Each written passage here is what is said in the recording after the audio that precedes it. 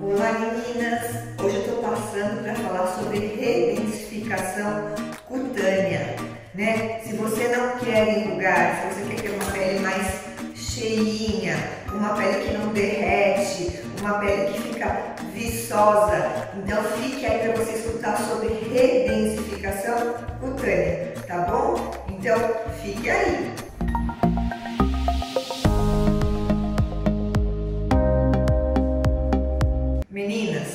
Eu quero começar a falar de redensificação cutânea, que é um tema que a gente escuta muito hoje em dia, começando dando um exemplo. Vocês imaginem que nosso, nosso corpo é um copo cheio de água.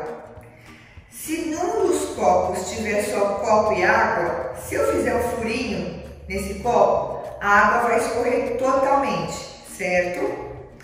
No outro copo, se eu tiver um água umas esponjinhas e eu fizer um furinho nesse copo, a água vai escorrer, mas vai ficar um pouco de água presa nas esponjinhas, não é verdade? É verdade. Então, pensem que substâncias que a gente usa é, oralmente, elas vão funcionar como esponjinhas, porque depois de uma certa idade, se você ficar só tomando água, tomando água, tomando água, você vai tomar água e vai fazer xixi. E não vai ter esponjinha para segurar. O que, que são as esponjinhas, gente? São glucosaminoglicanas, né? Por isso que eu falo, eu na minha casa, eu faço sachê de glucosamina e tomo todo dia.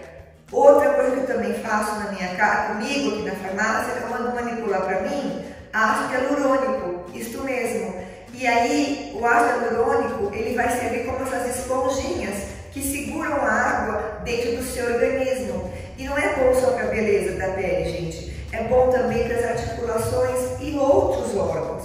É, imagine que bacana você pôr, né, vou fazer de conta, esponjinhas para dentro de você, que seriam ah, o ácido hialurônico, por exemplo, e ele reter mais água dentro da sua pele. Eu vou dar um exemplo para vocês, tá bom? Eu preparei aqui rapidamente.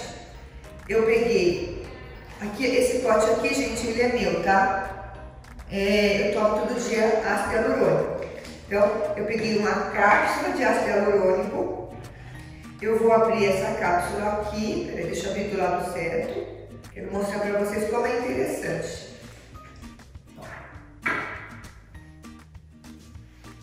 Ó, eu já abri a cápsula, ó. E eu vou pôr o pozinho aqui dentro, ó. Então, isso aqui é o que eu tomo. E aí eu fiz uma experiência agora aqui no laboratório. Eu peguei um outro becker antes de começar a gravar e coloquei o ácido hialurônico e pus um pouquinho de água. Olha o que aconteceu. Formou uma gelatina, ó. Ó. Então, por que, que eu fiz isso, gente?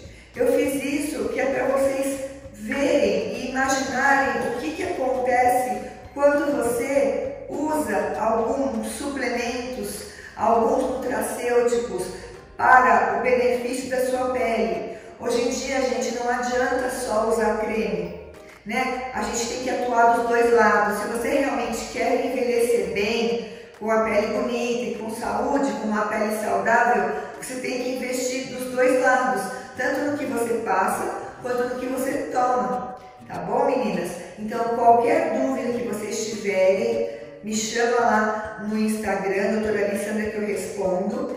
É, tenho trabalhos científicos, tá bom? Porque é, eu já, já escutei profissionais falando que não funciona e quando a gente tem um trabalho científico publicado, um estudo, né, é, um trabalho científico, a gente prova por A mais B que funciona assim.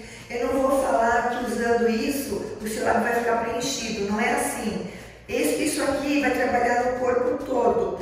Vocês sabem que essa semana eu fui nutricionista e ela foi fazer, é, pegar minhas